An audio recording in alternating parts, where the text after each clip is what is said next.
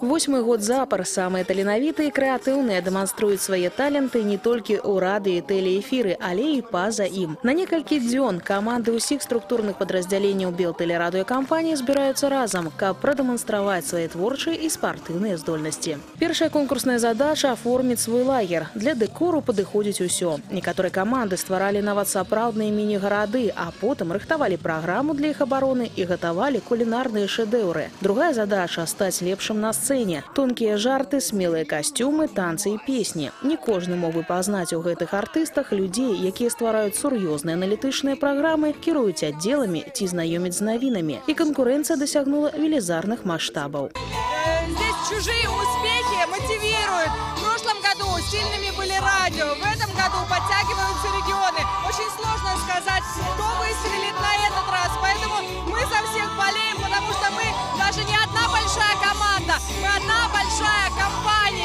Дарэчы, пра работу забылі не ўсе. Трэба было захаваць для эфіру пазаэфірныя падзеі. Валейбольныя спаборніцтвы, напрыклад, па накале эмоцый не саступалі матчам нацыянальнага чэмпіянату. І групы падтрымкі маглі супрацьстаяць самым вядомым фан-клубам. Часткова дзякуючы гэтаму каманда тэлерадыёкампаніі «Гомель» у фінале здолела вырваць перамогу ў моцнага саставу агенства тэлевізійных навін. Аматарам спорту прапанавалі яшчэ перацягванне канату, дзе тактыка аказвала большы ўплыў, чым фізічная сіла, а таксама арыгінальную эстафету са скакалкамі, дошчачкамі замест абутку і аднымі шортамі на дваіх. Пасля журы падвяло вынікі ўсіх спаборніцтваў і вынесла прысуд. Лепшымі прызнаны магілеўчане. Кубак за другое месца атрымала тэлерадыёкампанія «Гомель», якая літаральна адваявала гэту прыступку п'едэстала ў каманды Брэста. И нам приятно, что именно в этом году мы заняли второе место.